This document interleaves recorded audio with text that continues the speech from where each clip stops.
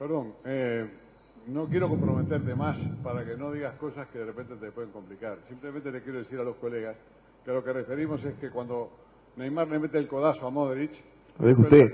le refriega la mano por la cara, ¿eh? este, no se abrió un expediente. Cuando Thiago Silva le mete la plancha que lo pudo quebrar a Chicharito Hernández, no abrió la FIFA ningún expediente.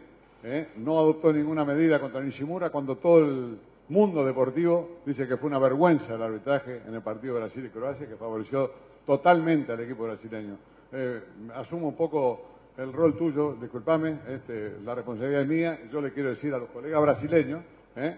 este, que ven algunas cosas y no ven otras. Además, ¿quién quedó peor? ¿Chiellini o Suárez con el codazo de Chiellini que tiene el ojo negro Suárez? ¿Eh? Yo creo Entonces, que- ¿Cuáles son las consecuencias físicas sobre una cosa y la otra? Cuando lo que, tenemos que preservar es la salud física del jugador, ¿no? Perdón.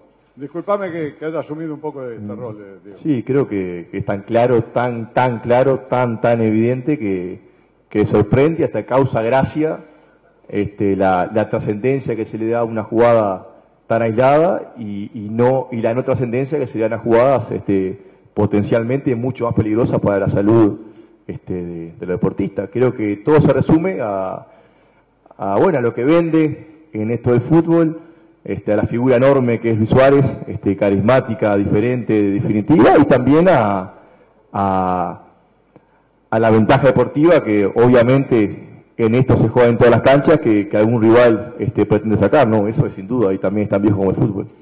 ¿Alguna pregunta más?